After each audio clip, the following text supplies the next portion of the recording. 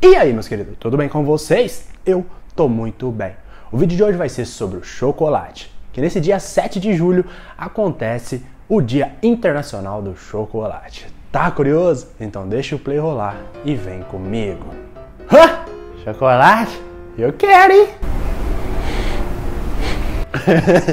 Eu quero saber mesmo como é que faz chocolate. Bom, vamos por partes. O primeiro passo é colher o cacau que desse fruto que acontece a mágica.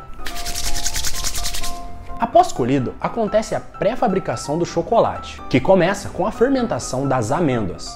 Mas eu ouvi dizer aí que a fermentação é feita da polpa, hein? Você tem razão.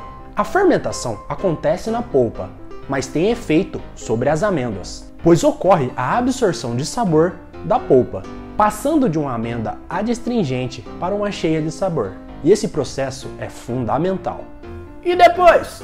Depois disso, acontece a secagem, que é feita em um solo plano diretamente ao sol. Depois de seca, eles vai pro Willy Wonka. Com certeza. E para diversos produtores de chocolate mundo afora. Uou!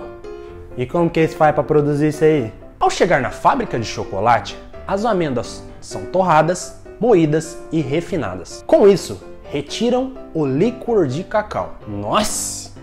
Que que é isso? É a massa base do chocolate, de onde são retirados dois produtos: a manteiga de cacau e a torta de cacau. Manteiga? Torta? Que?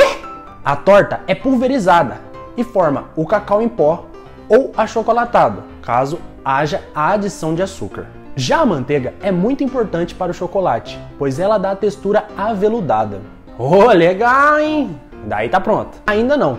O próximo processo é a conchagem, onde todo o sabor do chocolate é acrescentado. Ou seja, é nessa parte que adiciona as castanhas, essências e entre outros ingredientes. Oh, belezura! Agora é só esperar esfriar e hum, filé do boi. Exatamente, mas só esperar não basta. Existe um processo chamado temperagem. Rapaz, esse povo é doido. Como assim temperar?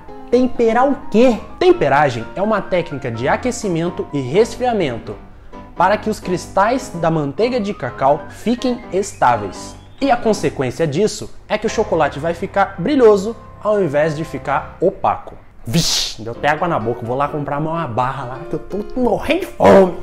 Então bora comemorar o dia do chocolate comendo um bom chocolate ou fazendo uma receita aqui do canal que é o pavê vulcão de chocolate. Se você quiser, é só clicar aqui no card. E se você ficou até aqui, não esquece de deixar o seu like, se inscrever no canal Cozinha da Zoeira. Também curta a nossa página do Facebook, siga no Instagram. E fora isso, vem comigo. Quem que vai pagar um chocolate para mim, hein?